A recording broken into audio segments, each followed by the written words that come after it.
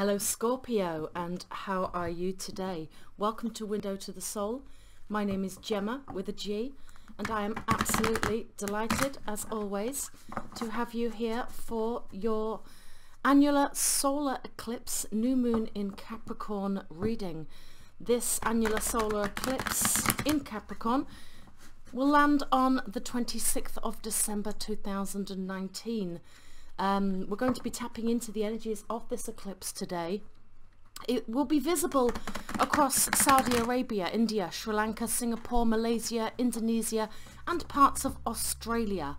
Um, an annular solar eclipse is when the moon covers the sun's centre, leaving a visible outer edge known as a ring of fire or an annulus.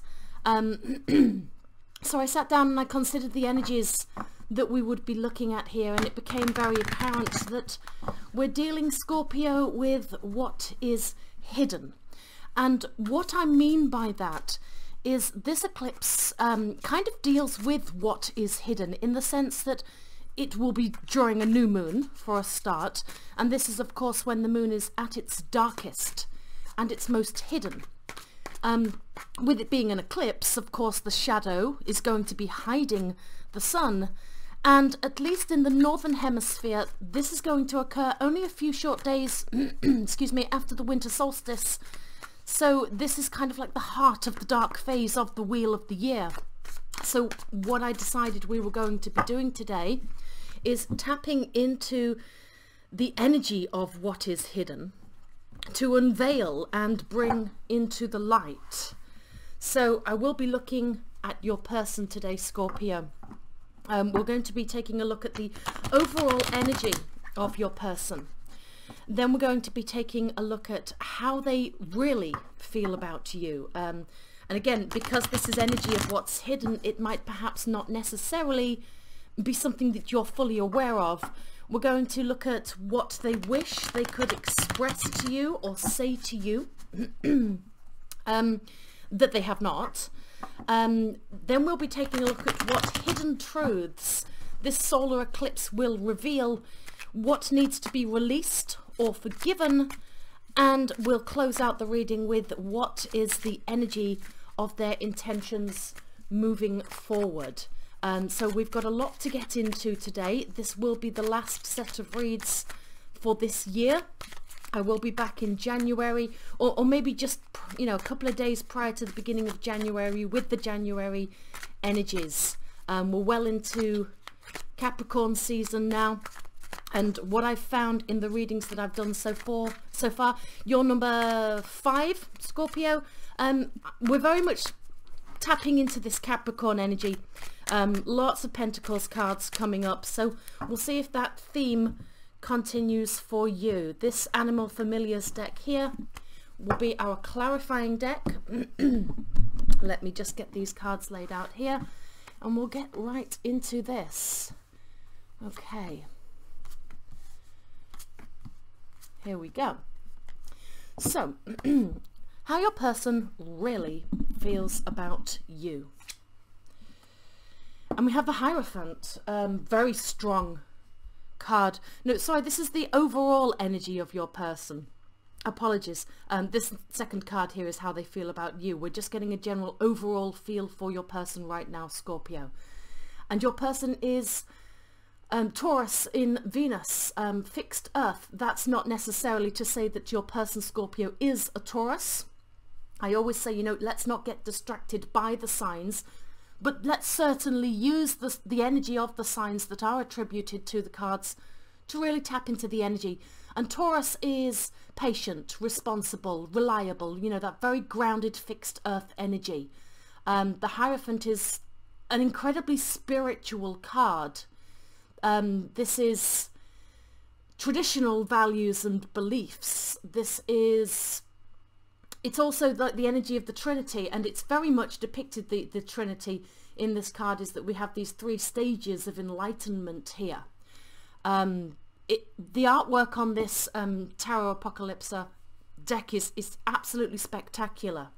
And what we have in this particular card, um, it's depicted is the, the Buddhist guide of the Dalai Lama. this is a symbol of unification of the state of Tibet. Um, there's a lot of symbolisms going on here. We have the lotus flower, which represents the most exalted state of man. Um, again, I spoke about the stages of growth, the stages on the path to enlightenment represented here. We've got the Buddhist chimes or the bells or the cymbal cymbals here, which are traditionally made from bronze alloy to create harmonic overtones. And this focuses the energy into the the present moment. Um what else do we have? Oh the the orange robes symbolize simplicity and detachment from materialism. So as we can see that you know the symbolism here is incredibly spiritual.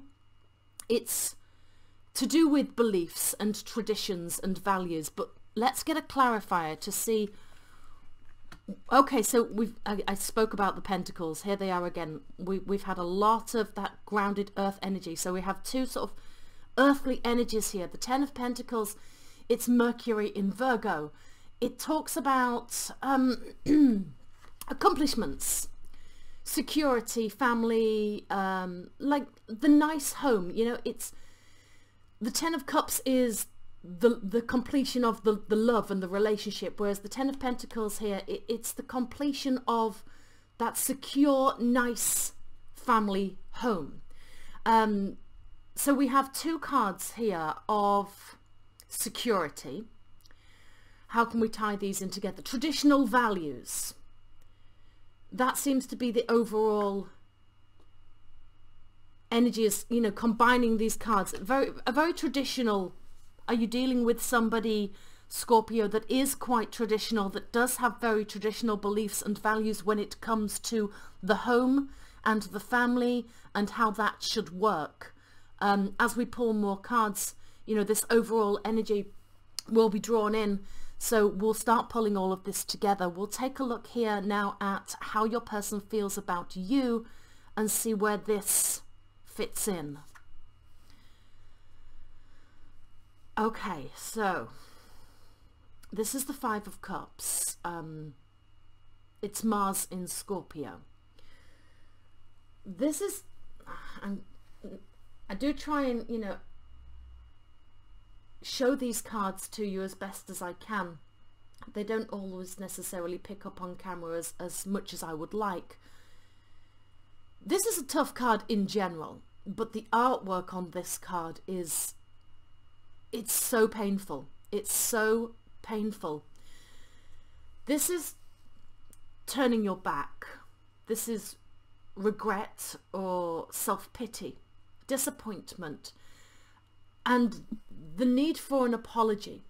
Um, you know, we always talk in tarot how these three cups have been spilled here, but what the lady here who is absolutely distraught over the spilling of the cups is not seeing is is the two upright cups behind here which many readers interpreters represented by the two of cups. So it's it's like ignoring a love. Some people see it as crying over spilt milk but I think that's a little dismissive. It is a painful card. Um, let's get a clarifier to see you know how this fits in. So the wheel of fortune. Okay Jupiter, Sagittarius, um, mutable fire. The Wheel of Fortune is its experience. And by all accounts, this would appear to be a rather painful experience. It's cycles. It's, it's, you know, it's not necessarily good fortune or bad fortune because the wheel keeps turning. You know, sometimes things are up and sometimes things are down. So let's put this into the context of this is your how your person feels about you. Right now, they are regretful. They are disappointed. Somebody perhaps needs to apologize for something in this situation. But your person is also in this energy of it's it's like okay what i'm getting is is like it just keeps going around and around and around and around you know this wheel of fortune energy. And it feels that your person is starting to observe what they are seeing as um, a toxic cycle, a negative cycle that that you two have got yourself into of somebody behaving badly, cups being spilt, an apology being required. Sometimes it the energies of you two, your connection is up and you're both feeling good and then sometimes the energies are down. But overall, again, there is an apology here and it's very difficult to assess whom your person feels needs to apologize, whether they feel that they deserve an apology from you, Scorpio, or if they feel that they should come to you with an apology. Um, it's it's it's regret and disappointment. Did you turn your back on them? And they are hoping this wheel of fortune will turn again. We have a lot we have turning, turning away and turning back towards, turning away and turning back towards. A lot of kind of in and out, back and forth. It's a cycle. It's a negative cycle of regret and disappointment that, that we're we're in here, Scorpio. You know, don't shoot the messenger. This is this is what I'm seeing. Um, and the overall, and this is to do with the overall energy being a very traditional family dynamic. Again, I always say this, Scorpio. This is your story, and it, often I, I read the energies of the cards, and but of course it's not my story, so I don't necessarily fully understand what the energies mean or represent. And often I find in the comments section, people will explain how and where this does resonate and fit for them. So if you do feel comfortable enough to share, I really would appreciate that in the comments. Um, but let's take a look next at what they wish they could tell you or express to you. Okay, this is the Fool. So obviously um, a new journey, you know, it, this is the beginning. The Fool here in this deck is represented by the Sufi dance um, um, of Sufism, which is a branch, a mystical branch of Islam this dance, you know, they, they whirl, they whirl around for significant periods of time in, and it's a form of active meditation. So the Fool card in general, it's um, an Aquarius air card in the fact that the Fool is related to the planet Uranus. It is a leap of faith. It is a new journey. But it's very much that trusting. You know, traditionally the Fool would be taking that step off the cliff face and and pair this with the energies that we have in this particular depiction here. It's about forgetting what you think you know. It's about abandoning ego. It's about surrender letting go. Um so we have your person is perceiving. I'm not saying you are necessarily in a negative or toxic cycle but this is your person's perception and they're letting go. So this, you know, th this could be good. Let's get a clarifier. Six of Swords. Okay. Yeah, this is moving away. Um, the Six of Swords is Mercury in Aquarius. So this, you know, we have two Aquarian energy cards here together. Um, it's change and transition. It's releasing baggage. So, you know, two energies of releasing two energies of taking a journey. Um, the Six of Swords can be almost an escape. Um, traditionally, it would be the boat with with the woman and the the oarsman. We would have the the rough waters and the calmer waters. So you know, one of the phrases that readers trot out with the Six of Swords is the moving to calmer waters. But it is releasing baggage because in the boat that you know they don't have luggage they don't have bags. The only thing that is being taken is the swords on the boat and swords are thoughts. So this is very much looking at things differently and releasing letting go and releasing. And this is what your person wants to tell you. They want to express to you their desire to approach all of this completely differently. Um, like I said, if they're perceiving this negative cycle that you've got yourself into within this connection, they want to express to you, you know, it is a leap of faith, but it's also moving away. You know, maybe for now this is a temporary break. Maybe it's a permanent break, who knows. Um, but this is moving away from this energy. However that manifests, whether that be moving away from you physically and the relationship and the connection, or proposing a way to break this cycle, a new way.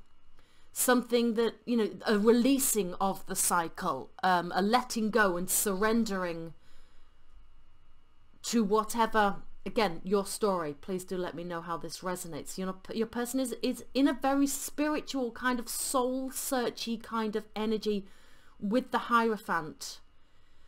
Whatever's gone on that's caused them to feel this way about you has really got them looking at things differently. Okay so this is what is uh, this is a hidden truth that will be revealed during the solar eclipse. Now this can be, you know, not necessarily on the exact same day, of course, but just over this period of time. So let's take a look. And we have the Princess of Swords. Um, the Swords card in this deck represented by the Norse mythology of Northern Europe. And the Princess of Swords, this would be the page. Um, I do enjoy decks that equally share female and male attributes to the court cards, um, whereas traditionally the pages are male. So we have three males and only one female being the queen. So th this feels, to, to give a feminine attribute to a page, for me, it feels it just feels fairer, more balanced. Um, so this would be the Page of Swords. This is Saga, the goddess of knowledge um, in ancient Norse mythology. Saga, she's like a student of the universe um, and she embodies this keen observational energy that we see in the traditional page of swords um, the curiosity the communication the thirst for knowledge and the gathering of information. Um, her name actually means seeress or omniscience um, but it is a page energy. But this is finding something out. This is um, often people see the Page of Swords as the internet spire or stalker. You know, that would be, of course, the modern interpretation of this card in traditional tarot. People nowadays, you know, when they seek out information, of course, the go-to is the internet now. So this could be finding out something about your person on social media and I'm and I'm just I'm just absolutely being pulled and uh, this is tough and again don't shoot the messenger. I'm being pulled to suggest that this moving away this leaving energy is something that you might find out in in a less than direct way. That this this might not be them coming to you and speaking to you this and telling you that they, they need a break or, or, or whatever whatever this is that instead of them coming to you with direct communication this might be you discovering this information. Um, I'm not seeing very much communication. I'm not seeing much togetherness. I don't think you two are in communication or talking or, or if you are it's it's not of any depth or substance um, there's not very much togetherness here at all. Let's take a clarifier. And you've got the Knight of Swords. Okay, yeah. So this is communication. But this is communication that you have unearthed yourself. This is not necessarily somebody, as I said, coming to you and talking to you. you this is you finding information. That the Knight of Swords is that fast thinking pursuit, that diving in regardless. Okay, what I'm seeing, Scorpio, is, and this particular placement is, of course, the hidden truths that the solar eclipse will reveal.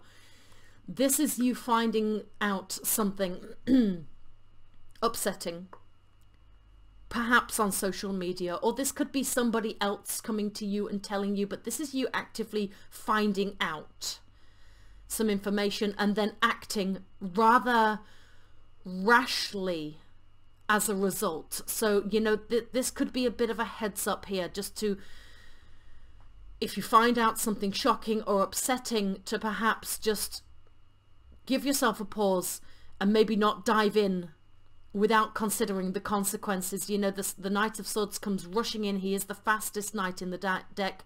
He, he dives in regardless uh, he he's his mind is going so fast and he's waving his sword around people are liable to get cut including yourself i am going to pull another clarifier here because we've got a lot telling you that you are finding out a truth but not necessarily what said truth is so let's see if we can if the cards can help us out a little bit here the queen of swords goodness me Goodness me, look at the progression. This is the page, the knight, and the queen of swords.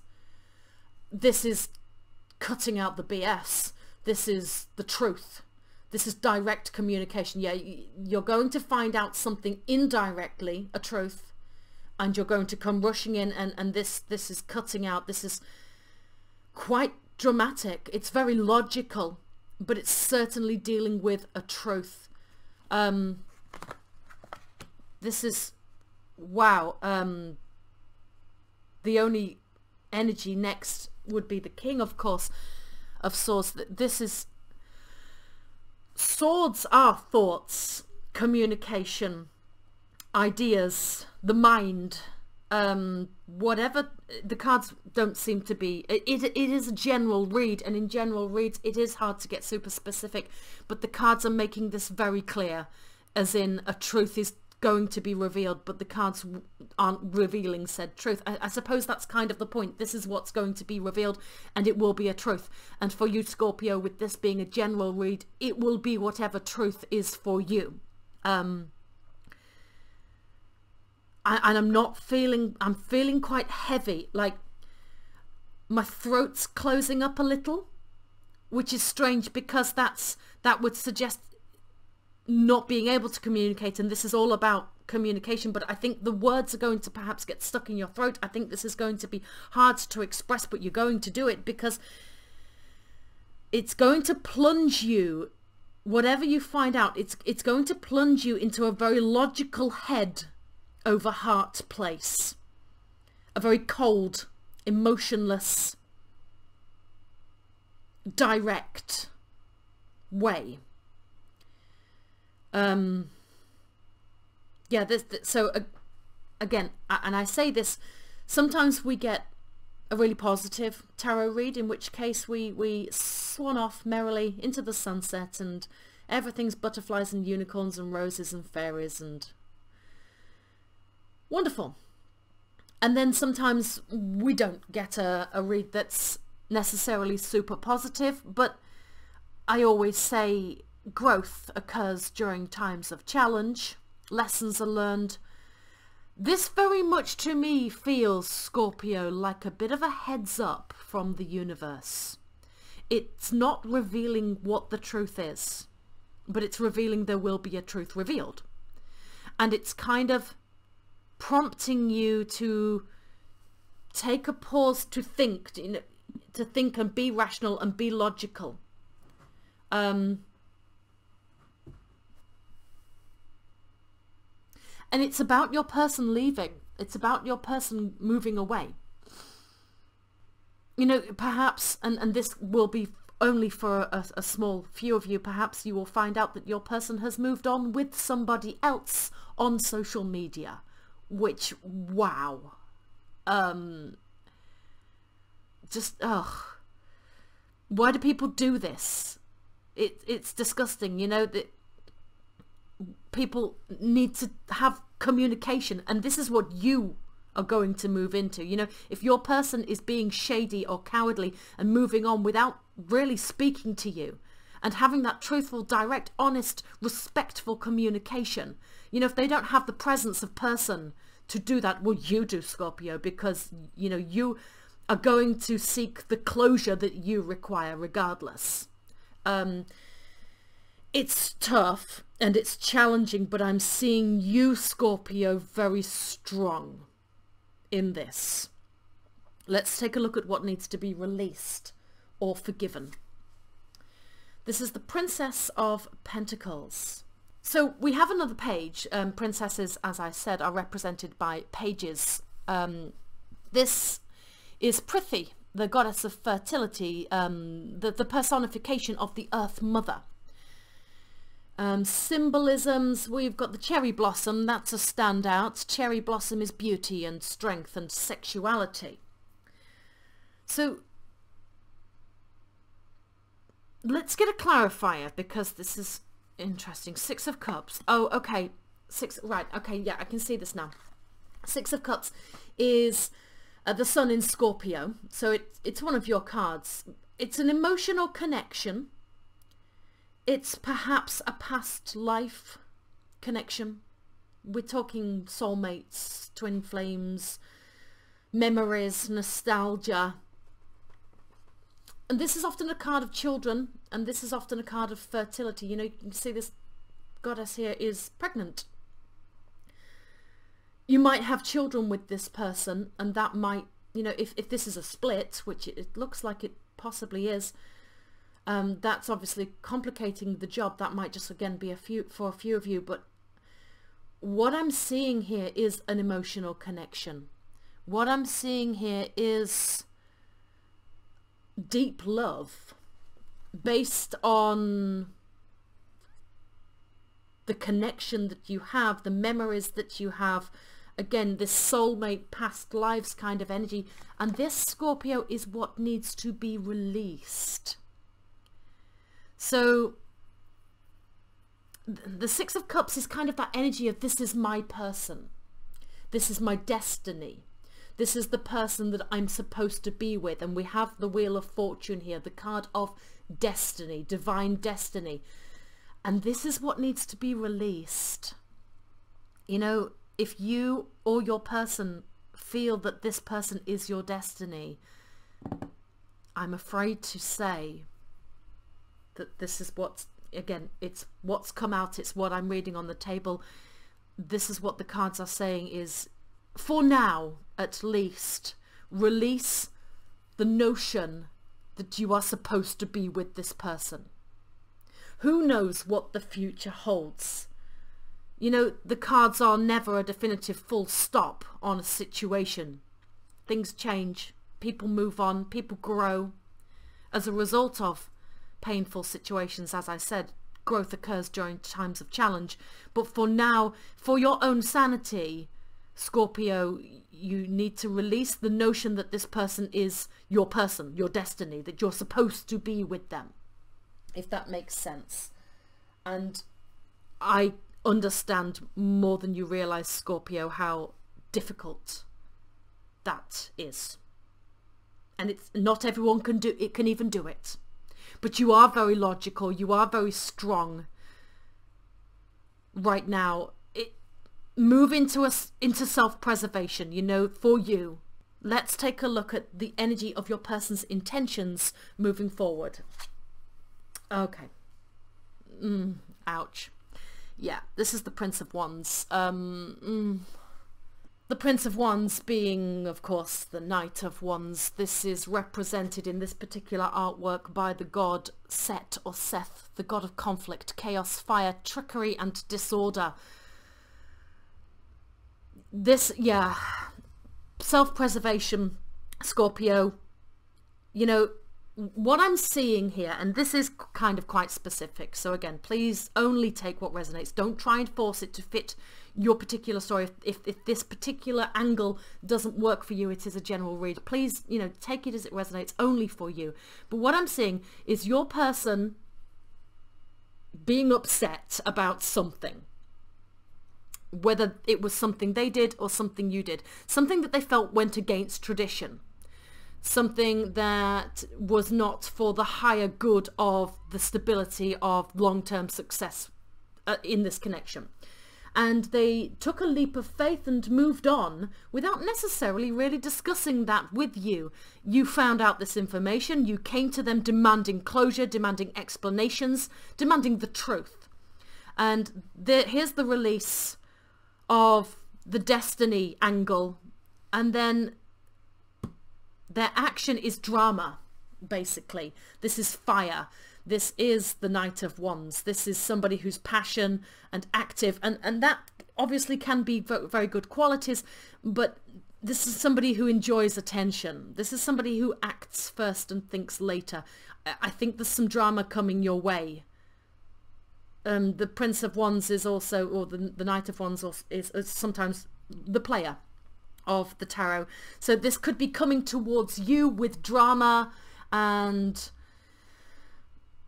you know, the, the wrong kind of attention and impulsiveness, saying things before they think. Um, but it, it could also be them going to others um, and engaging in less than healthy behaviors, rebound kind of energy um, to cause drama. Let's take a clarifier. We have the Ten of Cups. Okay. And this is going to prevent what ultimately what your person wants is Mars in Pisces, the Ten in Cups, this togetherness, happiness, union, this blissful relationship. But if they behave not like the Knight of Cups, th there's no way. There's no way. We have two tens here their overall energy and their final energy moving forwards. Um, tens, of course, are endings. They are the end of a cycle, but they are a new beginning. Um, I think you might have to take a step back for now and allow them to... Oof. They're not in a good place. Um, their emotional health is something that's concerning me right now you know they're, they're distraught and heartbroken. They're kind of this is this no i'm not going to deal with that. I'm going to step into my power and and be confident and live my best life and love myself kind of energy. And in the process that they're trying to hurt you. That's what i'm seeing. Because they are hurt. Um so scorpio I, I, i'm so sorry that i could not give you something more positive today, moving into 2020. Release the notion that this is your person. Be logical, take a step back, and try to avoid this drama here. This could be them stepping into a new relationship um, just to hurt you, essentially. It's not, they're not, you know, the, the Knight of Wands is not very committed, let's say. Um, so yeah, again, I'm sorry I couldn't bring you something more positive today. Um, I, I, it would be lovely if all of the signs could have something super positive moving into this next decade, but that's not the way the cards always fall, Scorpio. Um, do try and have a, a lovely holiday season. And of course, have a lovely new year and hopefully I'll see you really soon.